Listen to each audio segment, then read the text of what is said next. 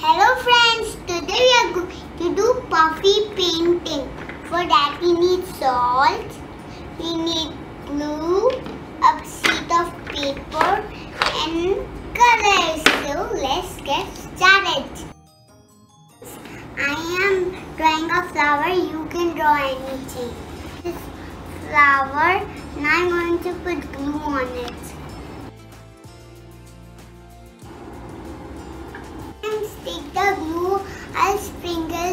Salt.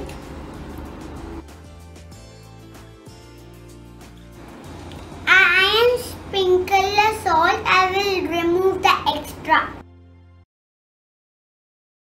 It looks like this, now we'll paint on it.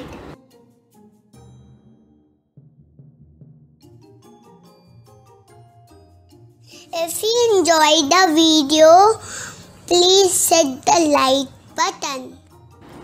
It is looking very good and it lo is looking puffy and it's puffy.